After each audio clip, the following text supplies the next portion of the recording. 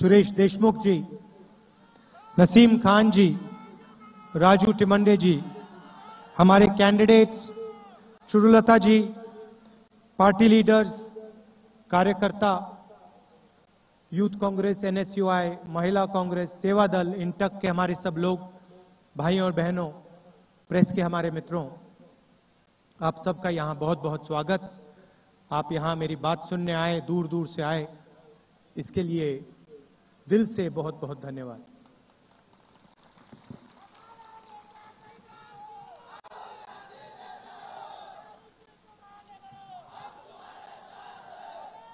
मैंने सुना कि कुछ ही दिन पहले, कुछ ही दिन पहले यहाँ प्रधानमंत्री जी आए थे। पाँच साल से प्रधानमंत्री हैं। 2014 में एक के बाद एक वायदे करते थे। दो करोड़ युवाओं को रोज़गार, किसानों को सही दाम, पंद्रह लाख रुपए बैंक अकाउंट में। कुछ ही दिन पहले आए, क्या उन्होंने रोज़गार की बात की? कुछ बोला रोज़गार के बारे में? ये जो यहाँ फैक्ट्रियाँ बंद हुई हैं, इसके बारे में कुछ बोला प्रधानमंत्री जी? किसान को जो पहले सही दाम की बात करते थे, यहाँ जो खरीदी नहीं हो रही है, उसके बारे में प्रधानमंत्री ने कुछ बोला? नहीं बोला? पंद्रह लाख, उसके बारे में कुछ बोला आपको? बताया कि भाई मैं पाँच साल पहले आया था, पंद्रह लाख की बात की थी। माफ़ी माँगता हूँ, नहीं दे पाया, इस बार दूँगा। ये नहीं बोला? नहीं बोला? युवा जो भटक रहे हैं, हर प्रदेश में जा रहे हैं, ढूंढ रहे हैं, रोज़गार ढूंढ रहे हैं। अच्छा उनके बारे में बोला? पहले कहते थे, दो करोड़ युवाओं को रोज़गार, इस बार बोला? ना? क्या हो गया? अच्छा अनिल अंबानी का नाम लिया? नहीं लिया ना? नीरव मोदी, मेहुल चौकसी, विजय माल्या, ललित मोदी, इनका नाम नहीं लिया ना? तो देखिए, वो झूठे वायदे करते हैं, हम सच बोलते हैं। तो मैं यहाँ आया हूँ, और आपने चार साल पहले, पाँच साल पहले देश की जनता ने जो पंद्रह लाख की बात बोली नरेंद्र मोदी ने, काफ़ी लोगों ने उसको, काफ़ी लोगों ने उसको सुना और कहा, हाँ भाई, बात तो सही बोली हर रोज हम देखते हैं अमीर लोगों को पैसा दिया जाता है, उनका कर्जा माफ़ होता है। तो ये जो नरेंद्र मोदी आया है, पंद्रह लाख की बात की है, बात तो सही है। आपको भी लगा होगा, मुझे भी लगा। मैंने भी सोचा कि ये पंद्रह लाख की बात जो कर रहा है, बात तो सही है, झूठ बोल रहा है। आइडिया ठीक है, गरीबों के बैंक अकाउंट में पैसा डालना अच्छा लगा, मगर झूठ बोल रहे हैं। अब पाँच साल से हम देख रहे हैं, कभी अंबानी, कभी अदानी, हर रोज अखबार में किसी को छह एयरपोर्ट मिल जाते हैं, किसी को किसानों का बीमा का पैसा मिल जाता है।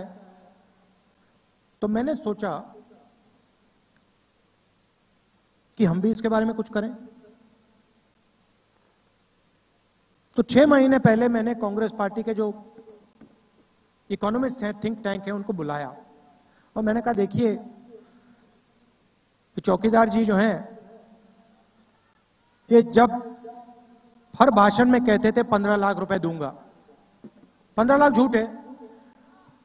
मुझे आप बताइए, अगर हम हिंदुस्तान के 20 प्रतिशत लोगों के बैंक अकाउंट में पैसा डालना चाहें तो बिना अर्थव्यवस्था को नष्ट किए हम कितना पैसा डाल सकते हैं? और मैंने उनसे कहा कि मैं लंबे भाषण नहीं सुनना चाहता। झूठ नहीं सुनना चाहता। मैं थियोरी नहीं जानना चाहता। किताब नहीं देखना चाहता। मुझे एक नंबर चाहिए। नंबर मतलब इतने रुपए हिंदुस्तान की सरकार, हिंदुस्तान के सबसे गरीब लोगों के बैंक अकाउंट में डाल सकती है। बस मुझे नंबर दो। वो गए चार पाँच महीने काम किया। और कुछ दिन पहले मेरे पास वापस आए, मुझे एक कागज़ दिया और कागज़ पे एक नंबर लिखा हुआ था।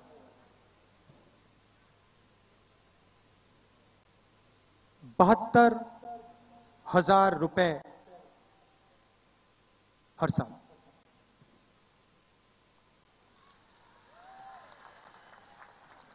यह है पंद्रह लाख की सच्चाई। पंद्रह लाख झूठ। सच्चाई इतनी खूबसूरत नहीं होती, झूठ जितनी खूबसूरत नहीं होती। पंद्रह लाख का झूठ, बहत्तर हज़ार रुपए की सच्चाई। उसको दूसरे तरीके से बोलता हूँ। पाँच साल के अंदर तीन लाख साठ हज़ार रुपए। अच्छा नंबर है। पंद्रह लाख जितना नहीं है, मगर अच्छा है। तो हम एक नई योजना बना रहे हैं।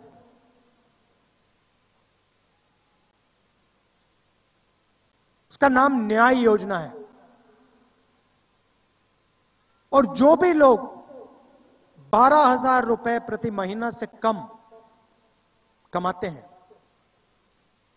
यह योजना उनके लिए है। किसान हो तो आपके लिए, मजदूर हो तो आपके लिए, बेरोजगार युवा हो तो आपके लिए हमारी माताएँ बहनें आपके लिए, अगर आपकी आमदनी बारह हज़ार रुपए से कम की है तो बारह हज़ार रुपए तक पहुँचाने की गारंटी हमारी।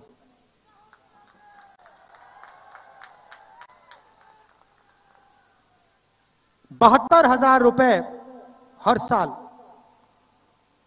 सीधा, हिंदुस्तान के 20 प्रतिशत गरीब लोगों के बैंक अकाउंट में कांग्रेस पार्टी डालेगी। ऐतिहासिक निर्णय है। कोई सोच भी नहीं सकता कि सरकार के पास इतना पैसा है। कोई सोच नहीं सकता कि तीन लाख साठ हज़ार रुपए पाँच साल के अंदर हिंदुस्तान के 20 प्रतिशत सबसे गरीब लोगों के बैंक अकाउंट में हिंदुस्तान की सरकार डाल सकती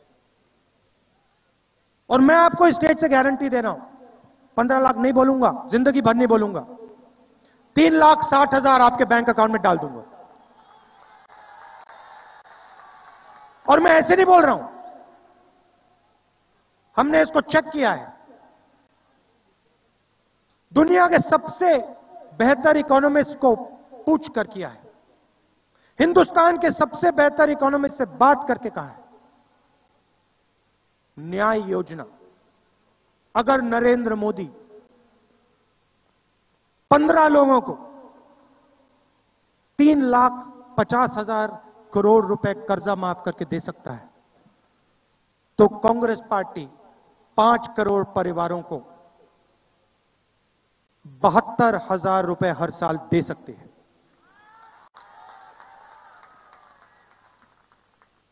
अब यहाँ महिलाएँ भी बैठी हैं, पुरुष भी बैठे हैं अब जो मैं कहने जा रहा हूँ, पुरुषों को शायद अच्छा ना लगे।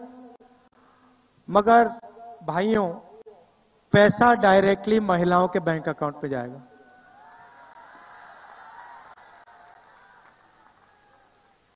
अब हम ये क्यों कर रहे हैं? एक साइड न्याय, हम न्याय देना चाहते हैं। किसानों को, मजदूरों को, छोटे दुकानदारों को न्याय देना चाहते हैं। नरेंद्र मोदी ने नोटबंदी की। आपको नुकसान हुआ? छोटे दुकानदारों को नुकसान हुआ? छोटे बिज़नेस वालों को नुकसान हुआ? किसानों को नुकसान हुआ? ये माताएँ, बहनें जो आई हैं, घंटों ये बैंक के सामने खड़ी थी। धूप में, आंधी में, तूफ़ान में, बारिश में खड़ी थी। अनिल अंबानी तो नहीं था ना? मेहुल चौकसी तो नहीं खड़ा था ना? तो एक कारण है न्याय। दूसरा कारण आपने देखा होगा कि नोटबंदी के बाद, गब्बर सिंह टैक्स के बाद हिंदुस्तान की सब फैक्ट्रियाँ बंद हो गई। यहाँ भी फैक्ट्रियाँ बंद हुई। यहाँ भी बेरोजगारी हुई। इसका कारण क्या है? कारण है कि हिंदुस्तान की सरकार ने आपके जेब में से पैसा निकाला। माताओं बहनों के जेब में से पैसा निकाला। छोटे बिज़नेस वालों के जेब में से पैसा निकाला। गब्बर सिंह टैक्स में हर महीने 10-15 फ़ोन भरो। कोई ना कोई अफसर आके रिश्वत मांगे। पाँच अलग अलग टैक्स 28 परसेंट टैक्स फ़ायदा उन्हीं पंद्रह लोगों को। आपके जेब से पूरा का पूरा पैसा निकाला। आपको झूठ बोला, काले धन के खिलाफ लड़ाई। काले धन के खिलाफ लड़ाई थी तो लाइन में आपको अमीर लोग, भ्रष्ट लोग क्यों नहीं दिखाई दिए? लाइन में आपको माताएँ, बहनें, किसान, मजदूर, छोटे दुकानदार, बेरोजगार युवा क्यों दिखे? क्या आप लोग चोर हो? किसने कहा कि हिंदुस्तान की जनता चोर है? आप लोग ईमानदार हो? खून पसीना देते हो? आपको लाइन में खड़ा किया? और हिंदुस्तान के चोर बैंक के पीछे गए, एसी में बैठे, काला धन निकाला। नरेंद्र मोदी जी ने काले धन को सफ़ेद कर दिया। और जो अर्थव्यवस्था हिंदुस्तान की वो ठप हो गई। इसीलिए हम आपके जेब में पैसा डालना चाहते हैं। लाखों करोड़ रुपए जो आपके जेब से निकाला गया, वो कांग्रेस पार्टी आपके जेब में वापस डालेगी। और फिर क्या होगा मैं बताता हूँ। जैसे ही वो पैसा आपके जेब में आएगा, युवाओं के जेब में आएगा माता बहने के पास आएगा आप चीज़ें खरीदना शुरू करोगे। कोई शर्ट खरीदेगा, पैंट खरीदेगा, जूता खरीदेगा, सेलफोन खरीदेगा। जैसे आपने चीज़ें खरीदना शुरू की, हिंदुस्तान की अर्थव्यवस्था चालू हो जाएगी स्टार्ट हो जाएगी जंप स्टार्ट हो जाएगी। धड़ाक से जैसे इंजन स्टार्ट होता है, चाबी घुमाने से इंजन स्टार्ट होता है, न्याय योजना से हिंदुस्तान की अर्थव्यवस्था का इंजन धड़ाक से चालू हो जाएगा। और ये जो यहाँ फैक्ट्रियाँ बंद पड़ी हैं ये एक के बाद एक एक के बाद एक शुरू हो जाएँगे। और आपके बच्चे इसी, इन्हीं फैक्ट्रियों में रोज़गार पाएँगे। दोनों काम हो जाएँगे। न्याय मिलेगा और हिंदुस्तान की अर्थव्यवस्था चालू हो जाएगी। आप देखना, ये होगा। इसको कोई रोक नहीं सकता। क्योंकि अपमान किया है। आपने नरेंद्र मोदी जी की किसान के साथ फ़ोटो देखी कभी? कहीं मजदूर को गले लगते हुए नरेंद्र मोदी की फ़ोटो देखी? हो नहीं सकता। मगर अनिल अंबानी को गले लगते, मेहुल चौकसी को गले लगते, नीरव मोदी को गले लगते, ओबामा जी को गले लगते तो देखिए ना। तो जिसके दिल में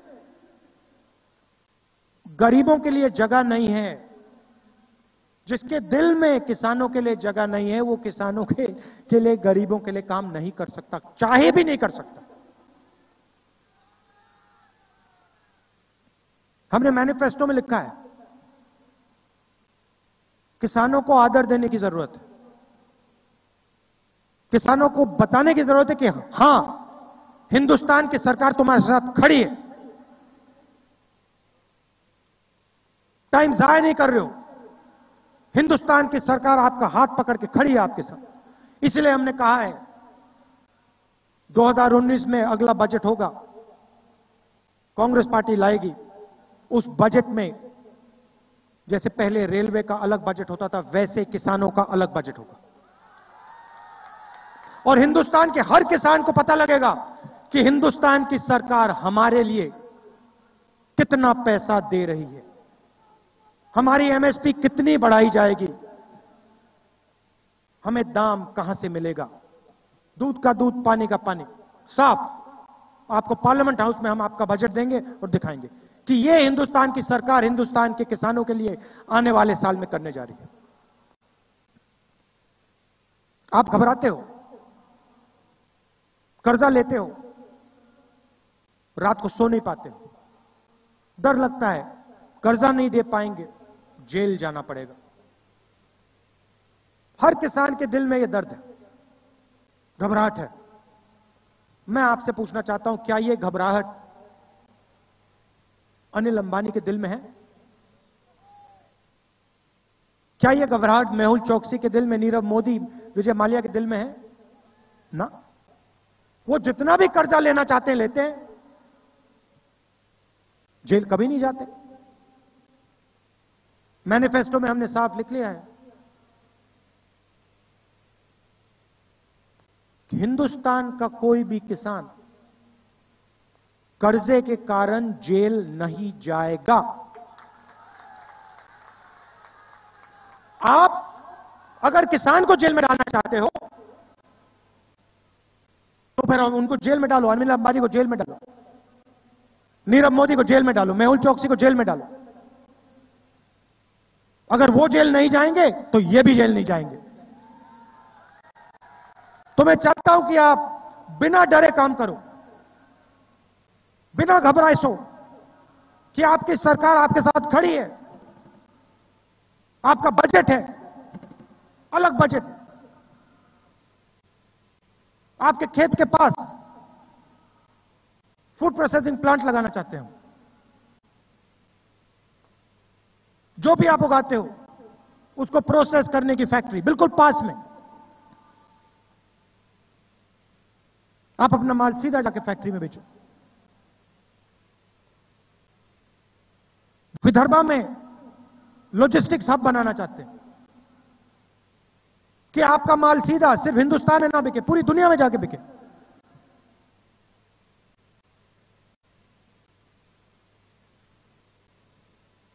आपकी मेहनत की शर्ट चाइना में बिके।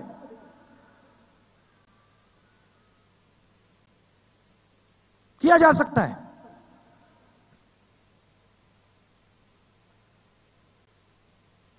मगर इन चीज़ों के बारे में प्रधानमंत्री ने कुछ नहीं कहा।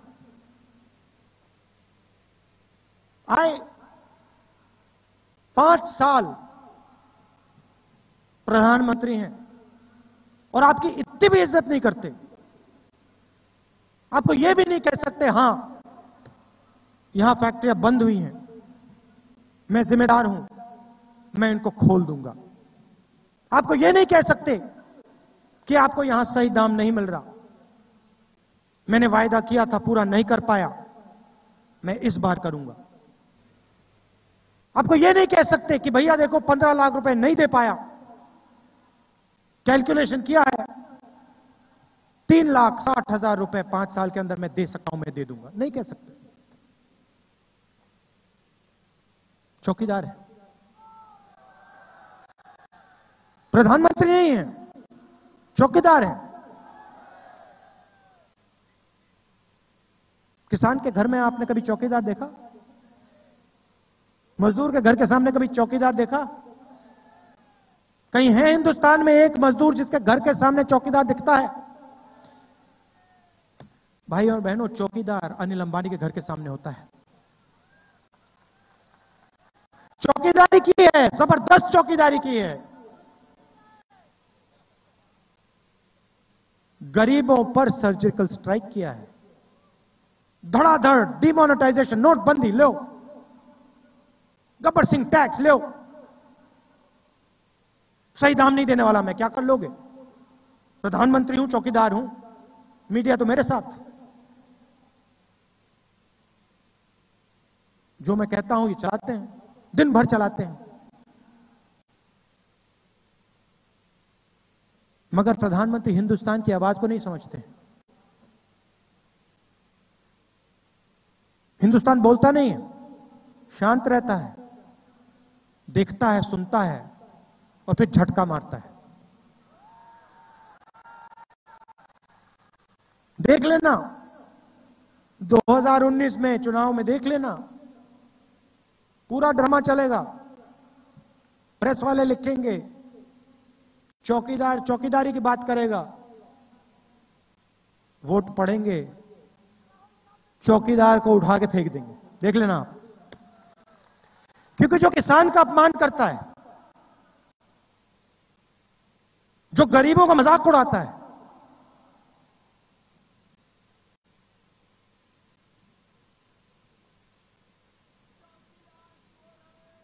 जो गरीबों का मज़ाक उड़ाता है, जो किसानों का अपमान करता है,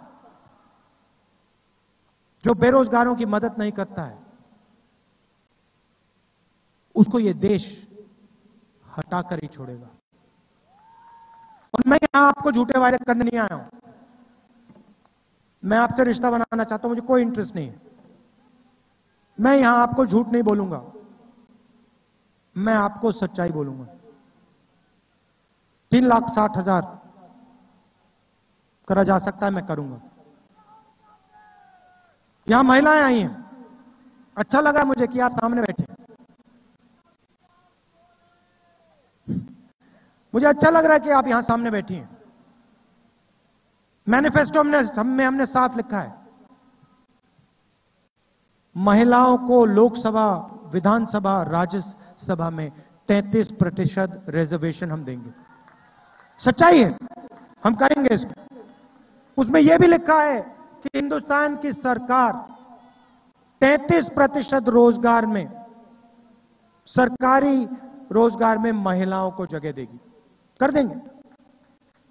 नरेंद्र मोदी जी ने दो करोड़ युवाओं को रोज़गार देने की बात की। झूठ। मैं आपको सच्चाई बता देता हूँ। न्याय योजना से आपकी फैक्ट्री खुलेगी। 22 लाख सरकारी रोज़गार हैं जो खाली। हैं 22 लाख लोगों को हिंदुस्तान की सरकार रोज़गार दे सकती है, एक साल के अंदर हम दे देंगे। दो करोड़ नहीं 22 लाख। 10 लाख युवाओं को पंचायत में रोज़गार दिया जा सकता है। दे देंगे। यह काम किया जा सकता है।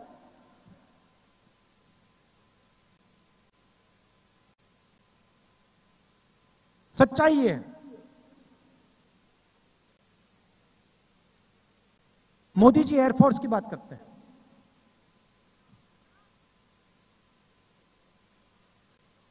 पुलवामा में हमला हुआ। एयरफोर्स के विमानों ने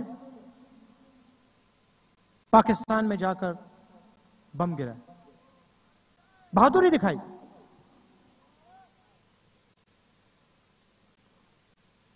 प्रधानमंत्री कहते, मैंने किया।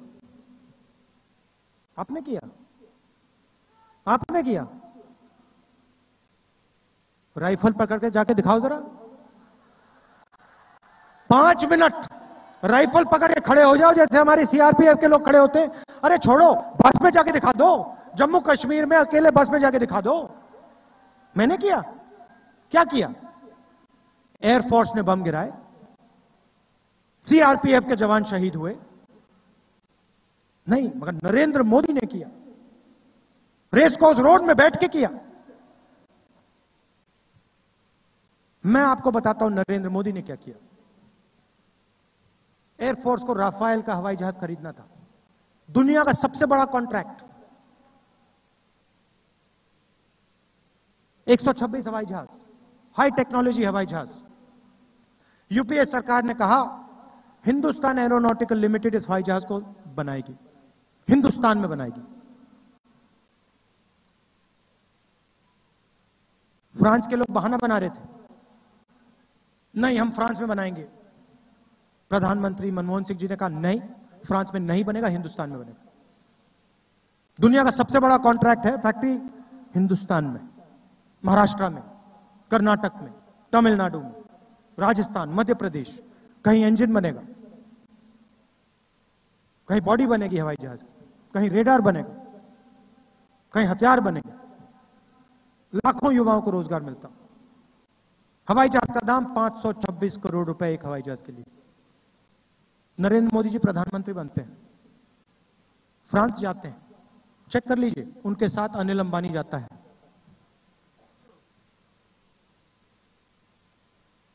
चौकीदार चौकीदार मालिक को फ्रांस ले जाता है। बॉस को फ्रांस ले जाता है, अनिल अंबानी को। फ्रांस का राष्ट्रपति कहता है कि नरेंद्र मोदी ने मुझे साफ़ बता दिया एच हवाई जहाज़ नहीं बनाएगी 526 का छोड़ो 1600 करोड़ रुपए का खरीदा जाएगा एक हवाई जहाज़। और ये जो मेरे साथ आए हैं, अनिल अंबानी जी इनको कॉन्ट्रैक्ट दिया जाए। मैं नहीं कह रहा हूँ, फ्रांस का राष्ट्रपति कह रहा होलैंड नाम है, इंटरनेट पे देख लीजिए। होलैंड, मोदी, अनिल अंबानी सर्च कर लीजिए, पता लग जाएगा आपको, उसने क्या कहा।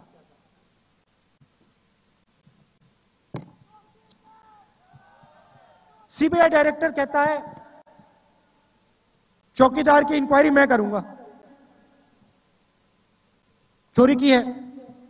डेढ़ बजे रात को चौकीदार सीबीआई के डायरेक्टर को निकाल देता है। सुप्रीम कोर्ट कहता है, इसको वापस लाओ। वापस आता है, पाँच घंटे बाद फिर से चौकीदार उसको निकाल देते हैं। डिफेंस मिनिस्ट्री के लोग फ़ाइल पे लिखते हैं कि नरेंद्र मोदी ने डायरेक्ट फ्रांस के साथ नेगोशिएशन किया। आठ साल से नेगोशिएशन चल रहा था। नरेंद्र मोदी ने सब रद्द कर दिया। अपने मित्र को कॉन्ट्रैक्ट देने के लिए सीधा उसने फ्रांस की सरकार से और डासोल्ट कंपनी से सौदा कर लिया। डिफेंस मिनिस्ट्री के डॉक्यूमेंट्स में लिखा है। इसलिए पहले नारा हुआ करता था, अच्छे दिन आएँगे। अब नारा है चौकीदार। चौकीदार चौकीदार, पाँच साल में। अगली बार यहाँ आएँगे, मेरी तरफ़ से उनसे दो तीन सवाल पूछ लेना। दो करोड़ रोज़गार का क्या हुआ? पंद्रह लाख रुपए का क्या हुआ? किसानों को सही दाम देने का क्या हुआ? यह पूछ लेना। पार्लियामेंट हाउस में डेढ़ घंटा, ये चार सवाल राफेल के बारे में मैंने पूछे। अनिल अंबानी को क्यों मिला? उसने कभी हवाई जहाज़ नहीं बनाया। तीस हज़ार करोड़ रुपए उसकी जेब में क्यों डाले? एचएल सत्तर साल से हवाई जहाज़ बना रहा है आपने उससे क्यों छीना? हिंदुस्तान में क्यों नहीं बनाया हवाई जहाज़? फ्रांस में क्यों बन रहा है? डेढ़ घंटा नरेंद्र मोदी ने जवाब दिया। राफेल की बात नहीं की। कभी यूँ देखें कभी इधर देखें कभी ऊपर देखें कभी साइड में देखें कभी यूँ करें आँख में आँख नहीं, नहीं, नहीं मिला पाए तो आपको निर्णय लेना है। आप दो हिंदुस्तान हिंदुस्तान चाहते हो एक। मेरा कहना है, एक हिंदुस्तान होना चाहिए, उसमें सबको न्याय मिलना चाहिए। किसानों की जगह होनी चाहिए, उनका कर्जा माफ़ होना चाहिए, उनकी बात सुनी जानी चाहिए, उनको दाम मिलना चाहिए। युवाओं को रोज़गार मिलना चाहिए। ठीक है, बड़े बिज़नेस वाले हैं, उनके लिए भी जगह होनी चाहिए। मगर छोटे बिज़नेस वालों के लिए मिडिल साइज़ बिज़नेस वालों के लिए दुकानदारों के लिए भी जगह होनी चाहिए। मैं सिर्फ़ न्याय की बात कर रहा हूँ। एक हिंदुस्तान, एक झंडा, एक हिंदुस्तान। वो चाहते हैं दो हिंदुस्तान हो। एक अमीर लोगों का, मर्सिडीज गाड़ी का, प्राइवेट हवाई जहाज़ का, लाखों करोड़ का राफेल कॉन्ट्रैक्ट का, अनिल अंबानी का, दूसरा किसानों का, मजदूरों का, बेरोजगार युवाओं का, माताओं बहनों का, दो हिंदुस्तान हम नहीं होने देंगे। इसलिए हम आपके लिए न्याय योजना ला रहे हैं। इसलिए मैं आपको आश्वासन दे रहा हूँ कि किसानों की मदद होगी। किसानों के साथ आपको सरकार खड़ी हुई दिखाई देगी। किसानों का बजट बनेगा और उनको पहले ही बता दिया जाएगा कि इस साल तुम्हें इतना पैसा मिल रहा है। देख लो। स्वास्थ्य में, शिक्षा में पूरा का पूरा प्राइवेटाइजेशन कर दिया है। एमआरआई की ज़रूरत होती है ऑपरेशन की ज़रूरत होती है, लाखों रुपए जेब निकाल, जेब से निकालकर उन्हीं पंद्रह बीस लोगों को दो। गरीब व्यक्ति इलाज नहीं करा सकता हिंदुस्तान में।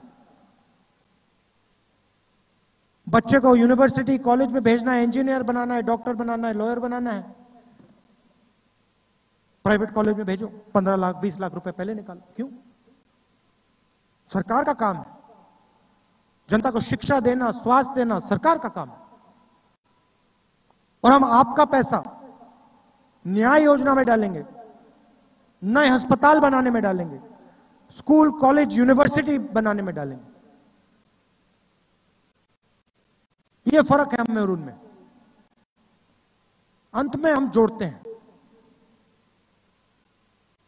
सब लोगों को जोड़ते हैं, प्यार की बात करते हैं। आप देखिए, मैंने, आपने मेरा भाषण सुना। नफरत आपको नहीं सुनाई देगी।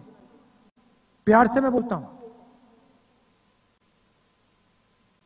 दूसरी तरफ़, एक के बाद एक एक के बाद एक एक के बाद एक नफरत। तोड़ने का काम करेंगे। हिंदू धर्म में सबसे ज़रूरी चीज़ क्या होती है? गुरु शिष्य का रिश्ता। इससे बड़ी कोई चीज़ है हिंदू धर्म में? हिंदू गुरु शिष्य गुरु शिष्य के रिश्ते से? नहीं ना? अडवाणी जी की आज क्या हालत है? अडवाणी जी नरेंद्र मोदी के गुरु हैं।